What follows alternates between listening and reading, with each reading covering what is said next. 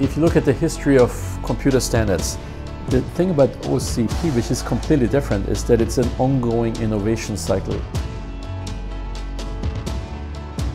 We come together to innovate, to learn, share ideas. The fact of actually having this incredible playground of technology here at a massive scale, which is super exciting as well.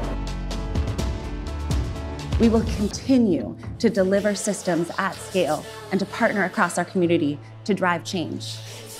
But we also want to work with you to see the future of innovation, to identify those opportunities where one company cannot do it alone.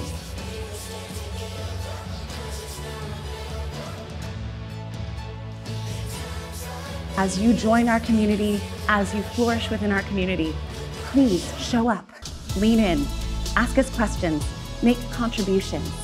This is our space. This is our time. Together, we can drive the future of computation. It's just open possibilities.